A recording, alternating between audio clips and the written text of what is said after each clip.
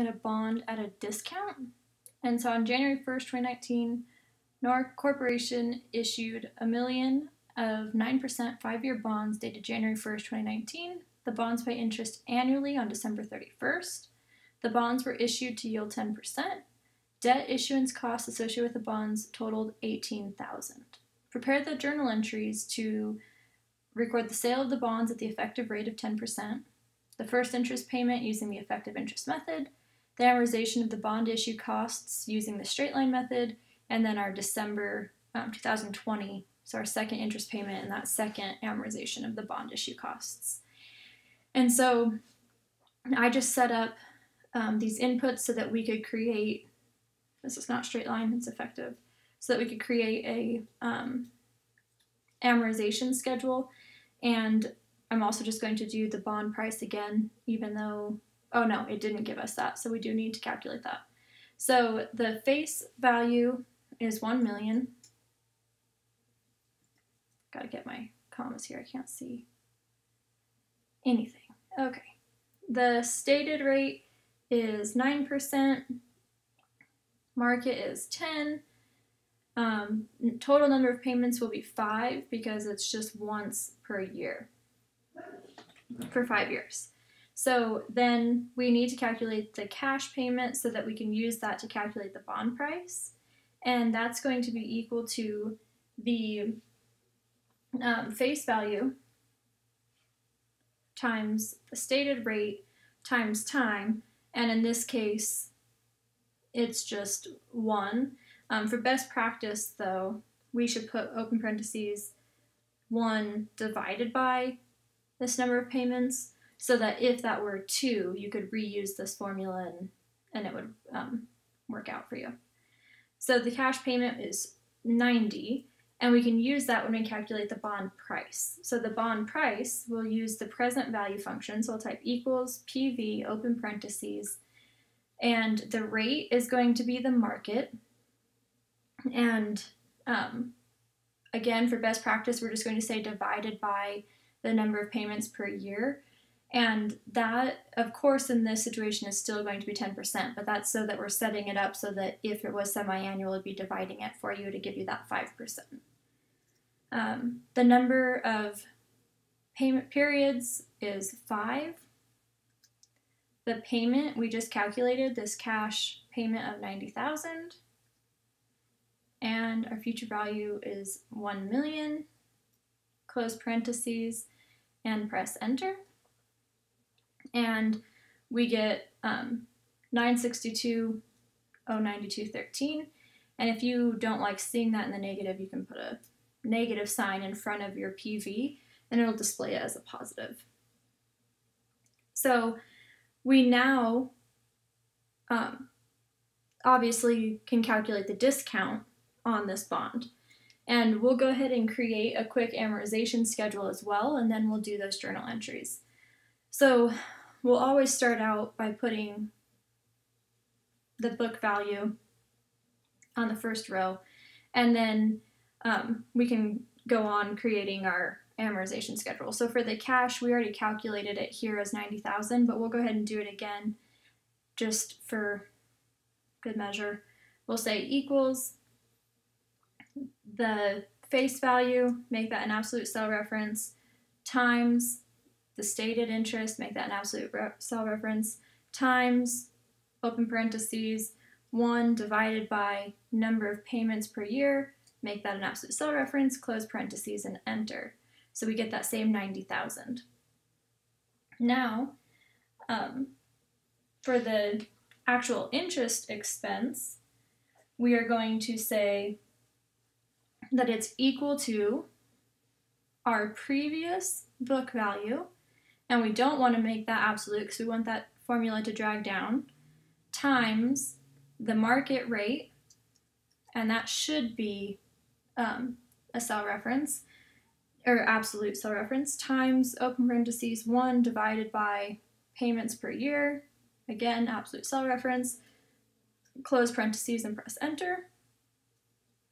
Our premium then is that interest expense minus the cash payment. And then the bond value or book value of the bond is going to be our previous book value plus this premium. And now we should be able to drag this formula down. And I, mean, I guess we keep going until we get to that million dollars. Delete these. Uh, we don't need all of these for this problem, but now you've created a, an amortization schedule for a premium and save this amortization schedule and format because it's slightly different than doing a discount where you'd be subtracting the discount from the book value each time. So, okay, now let's get back to the what it really asked us to do. Prepare the journal entry when we sold the bonds at the effective rate of 10%. I'm just gonna, um, I'll come down here. No, I, I'm gonna do it on the side. So we have 1, 1, 19, and on this day, we received cash because we sold our bonds payable or our liability, and we also have a discount on the bonds payable.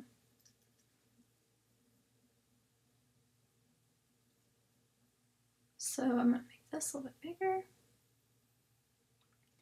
All right, our bonds payable is the face value.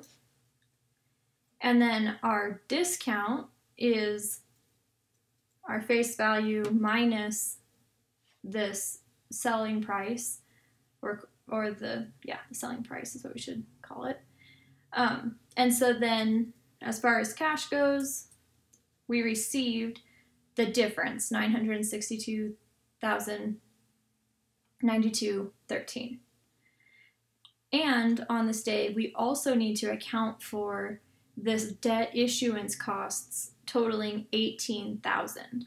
And so on the first, we're going to have our deferred debt issuance cost and cash for 18,000. And then it's telling us that we're going to um, amortize that straight line. So equally over the next five years, we'll, we'll be expensing that out. So now record the first payment using the effective interest method on 12, 31, 19. And so to record that, we're going to have our interest expense and then we have to credit our discount on the bonds payable and credit cash. And oh, sorry, I just realized I pulled over the titles from my um, amortization schedule where we were doing a premium, but now we're doing a discount, which is a credit. Okay. And so luckily we already have it in the amortization schedule. So our interest expense is this 96. The discount is our 6209 and the cash is 90,000. And then the next part is also asking us to do the amortization of the bond issue costs. So that's also on the 31st. And now we're going to expense one fifth of this because it's just equally over the five years. So we'll have interest expense and a credit to that deferred debt issuance cost. It's a little bit bigger again. Now it's going to be equal to 18,000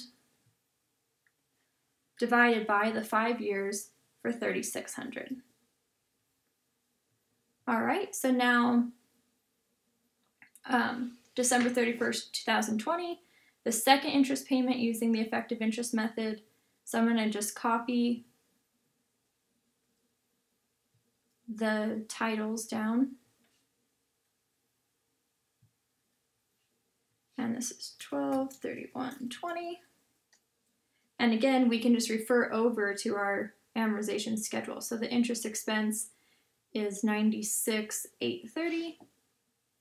Our discount is 600 or 6,830 and the cash is still that same 90. And then the December 20th, or sorry, December 31st, 2020 amortization of the bond issue is the exact same because it's straight line, so it's just going to be the same every single year. Except it I didn't I didn't do the absolute cell reference. So all right. And I think that's it for this problem.